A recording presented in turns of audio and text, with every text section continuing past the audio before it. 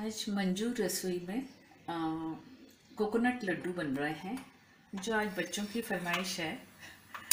मेरे पास एक कप ही नारियल का चूरा है सो मैं उसी से आपको बता रही हूँ कि कैसे बनते हैं। तो मैंने गैस ऑन कर दिया है। उसमें वन थर्ड मैं दूध डाल रही हूँ। कोई भी दूध ले सकते हो आप। और उसी में मैं फोर टेबल स्पून मतलब आप शक्कर अपने हिसाब से ले सकते हैं। अगर आप चम्मच से नापेंगे तो मैं आपको बताती हूँ।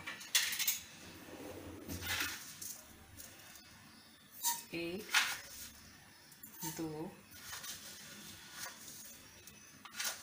मैं तीन डाल रही हूँ पहले, क्योंकि मेरे पास होममेड मावा भी बना पड़ा है सो मैं वो भी डालने वाली हूँ।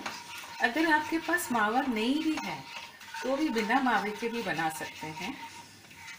अगर मावा है तो आप इसमें दो टेबल स्पून भर के एक कप में आप डालिए। ये जब तक शक्कर मेल्ट नहीं हो जाए, जब तक आप चलाते रहिए इसमें कोई तार नहीं बनानी है, सिर्फ़ मेल्ट करना है शुगर को।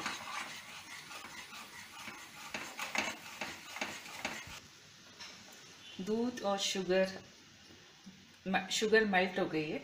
अब इसमें मैं एक बड़ा चम्मच वन एंड हाफ़ चम्मच मावा डाल रही हूँ, जो होममेड है।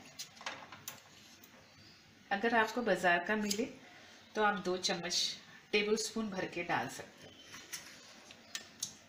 ये मेरा दो टेबल स्पून के बराबर है।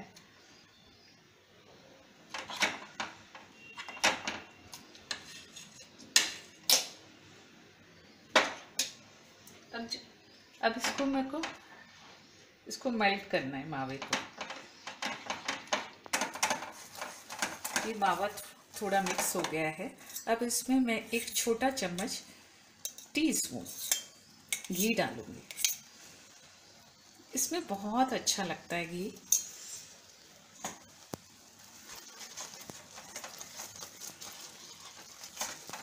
अब इस टाइम आप इलायची डाल सकते हो।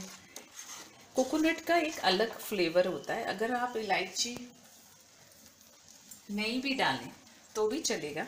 अगर डालना है तो दो तीन इलायची को पाउडर करके डाल दीजिए। अब इसमें मैं कोकोनट पाउडर डाल रही हूँ, जो कि एक कप है।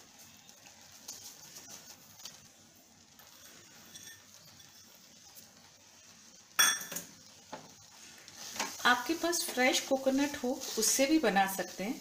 उसको ब्राउन पार्ट निकाल के उसको मिक्सी में पीस लो। बिल्कुल पाउडर फॉर्म में कर दीजिए। और उसके बाद आप बना सकते हो। ये जल्दी से घट होने लगता है।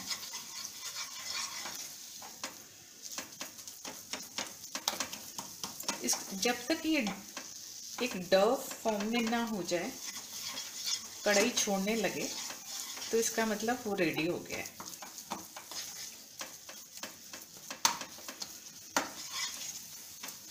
देखिए, उसने कढ़ाई छोड़ दी है। नारियल की खुशबू आ रही है। अब मैं गैस बंद कर रही हूँ। ये कोकोनट लड्डू रेडी हो गए हैं, जो देखने में बहुत ही अच्छे लग रहे हैं। आप इसको पिस्ता से भी डेकोरेट कर सकते हो। मेरे पास गुलाब के पेटल्स थे तो मैंने उससे डेकोरेट किया है। ये विद इन फाइव मिनट्स में ये मिठाई बन जाती है, लड्डू बन जाते हैं। आप लड्डू नहीं बनाए तो इससे बर्फ़ी भी बना सकते हैं। और अगर आपके पास मावा नहीं है तो विदाउट मावा भी आप बना सकते हैं। दूध थोड़ा सा ज़्यादा ले लीजिए, उसको थोड़ा सुखा लीजिए, फिर शुगर और पाउडर डाल के कोकोनट पाउडर डाल के आप बना सकते हैं। अगर मावा है, बाहर से मिल रहा है तो टू टेबल स्पून ही मावा डलता है। विद इन फाइव मिनट्स में ये इतने बेहतरीन लड्डू बने हैं, आप खाएँगे तो मज़ा आ जाएगा। अब आप बनाइए और हमें बताइए, कैसे लगे आपको?